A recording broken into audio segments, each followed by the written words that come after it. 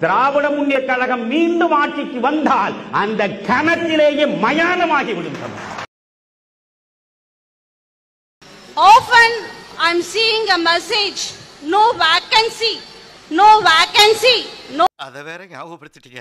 A vacuum is filled as it is cried. நீங்க என்ன இடத்துல வந்து இதை எடுத்து காமிச்சு உரிமையோடு கேட்கலாம். கேள்வி கேட்கக்கூடிய அளவுக்கு இந்த அக்னாலஜ்மெண்ட் கார்டுக்கு இந்த உரிமை இருக்கு அந்த தகுதி இருக்கு. மறந்துடாதீங்க. அப்போ? அடுத்த முதல்வர் யாரு? நீங்களா? வாங்கியிருக்கிறவங்க பத்திரமா வச்சிருங்க. நூறு நாட்களுக்குள்ள ஆட்சிக்கு வந்து நூறு நாட்களுக்குள்ள. ஹலோ? ஆ விக்கிறோம் விக்கிறோம். தென் சென்னையை உனக்கு விக்கிறோம். வட சென்னையை அவருக்கு விக்கிறோம். மத்திய சென்னையெல்லாம் விக்க முடியாது. அது நானே எடுத்துக்கிறேன். அண்ணா மீது ஆணையா கலைஞர் மீது ஆணையா ஒட்டுமொத்த தமிழ்நாட்டு மக்கள் மீது ஆணையா? ஏன்டா மனு வாங்கின? வேணுமில்ல கொண்டாத. எதுக்கு? இது கொடுத்து என்ன நடக்க போகுது? போடா. மகாபாரதம் முழுக்க முழுக்க விபச்சார ஏடு. அவ்வளவுதான்.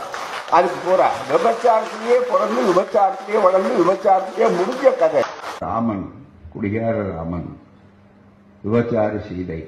ஒருவேளை தனியாக அந்த புரோகிதரை கூப்பிட்டு கேட்டால் அவரும் சொல்லுவாரு எனக்கும் தெரியாது. யாருமே தெரிந்து கொள்ள முடியாத நிலையில புரிந்து கொள்ள முடியாத நிலையில மறக்காம சர்ப்ரைஸ் பண்ணுங்க. தேங்க்யூ